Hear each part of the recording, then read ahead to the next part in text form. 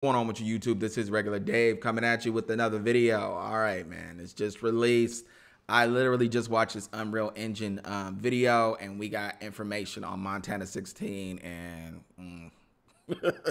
yo, I, I'm not gonna lie. I know a lot of people are gonna say what they're gonna say, but I'm disappointed, man. I, I I can't think of any other way to put it. And if y'all hear an alarm go off, they tested my alarm um, in a complex. But yo,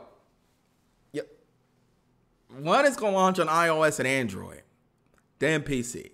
So so really it's a mobile game. It it like what I had said like a long time ago, like what if it's a mobile game, but all this stuff built up and we had this fake OS leak, which is obviously fake.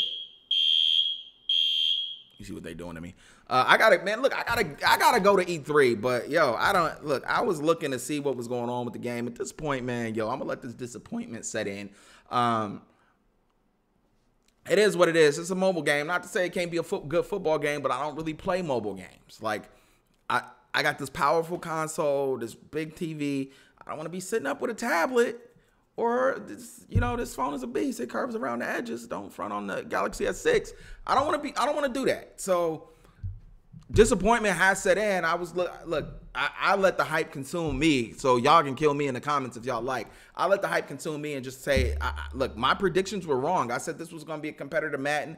If it's on iOS, Android, and then eventually coming to PC, it's not. Y'all, whoever is saying it is, it's not a competitor to Madden. It could be a competitor in its own space. It could be a good football game. It could be a simulation experience, but it is not going to compete with Madden. There was no mention in the NFL license. Um, I, think that might be I think that might be Montana 16 telling me to wrap this up. But all right, man, let me know what you guys think in the comments. How dis- are you disappointed? I don't know. There's gonna be some people that's not, and more power to you. But I am. All right, get active in the comments, and I'll get at you at another time. Peace.